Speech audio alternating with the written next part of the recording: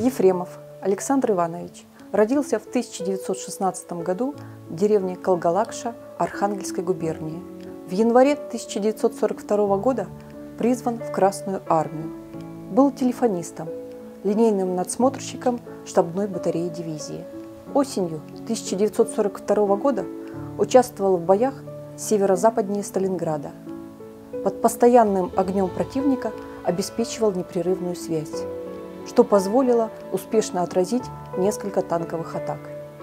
За участие в этих боях был представлен к первой боевой награде – медали за отвагу. К началу 1944 года воевал в разведке, неоднократно был ранен. Участвовал в белорусской наступательной операции, в боях за освобождение Польши. Осенью 1944 года участвовал в боях по завершению прорыва приграничной полосы укреплений Германии в Восточной Пруссии.